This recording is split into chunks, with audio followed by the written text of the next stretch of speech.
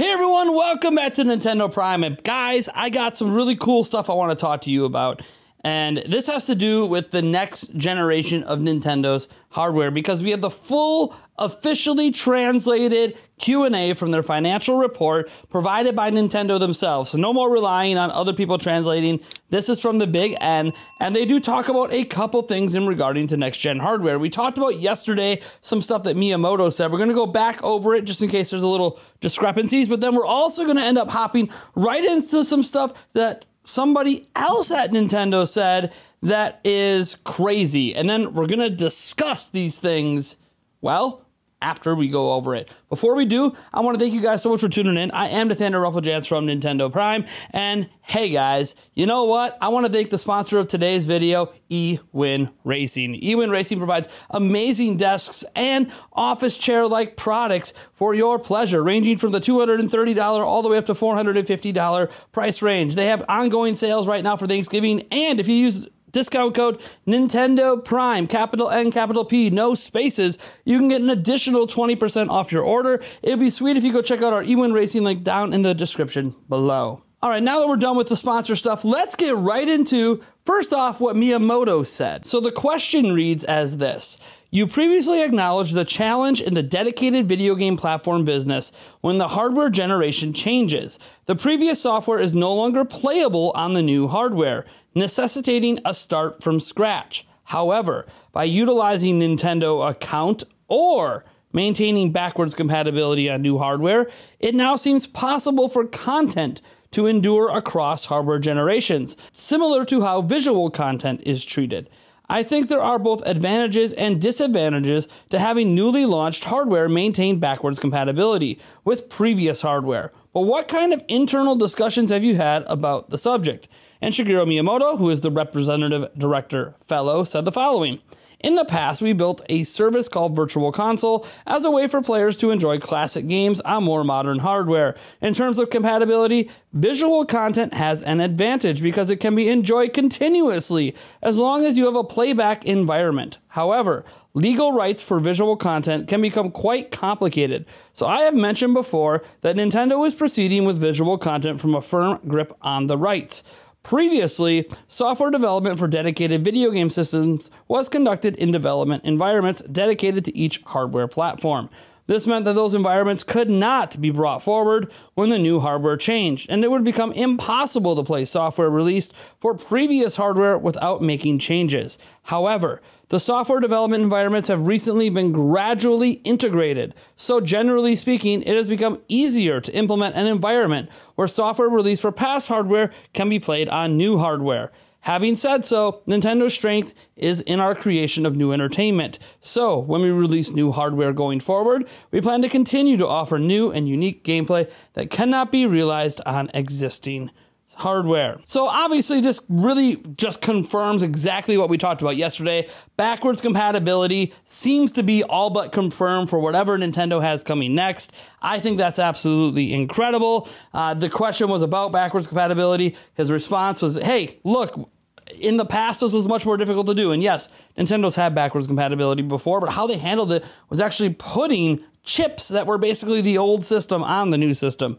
Kind of inconvenient. This seems like it'll be native backwards compatibility, which is so much better than like what we got on Wii U when you had to reboot in the Wii mode. What a pain. So, yes, this is absolutely incredible. This is what everybody wants. But that wasn't the only mention of new hardware from Nintendo. Kishimoto actually said something as well, and we need to get into that too. So, the question that prompted this response says the proximity between consumers and Nintendo is now closer through Nintendo account and Nintendo Switch Online, and I think it has become easier than before to see things like user activity in games. Do you think this kind of information will affect the development of software on the next generation platform? So, first up, Shinya Takahashi, again, this is about the next generation platform, says tools like social media provide us with opportunities for feedback from consumers, and we receive a variety of information. Although we cannot adopt all of the input as they are, we need to always pay attention to how people respond to our games and then think about how we entertain them as we proceed with development. We want to develop products that are fun for consumers while also enjoying the development process, exploring what kinds of interesting things are possible, including new initiatives for Nintendo Switch Online. So this comes from Shinya Takahashi, the director and senior managing executive officer. And then next up, we have Ko Shiota. He is a director and ex- senior executive officer as well. And he responded by saying, In the Nintendo Switch generation, it feels like we have gotten closer to our consumers via Nintendo account. I think an integrated hardware software business that captures the spirit of Nintendo will continue to be central to many of the activities that spring from the strategy described in today's briefing. The most important thing with our dedicated video game platform is to deliver a unique gaming experience. In our development for both hardware and software going forward, we must consider ways to more easily connect our core video game business with the consumer experiences outside of our dedicated video game platform through Nintendo account.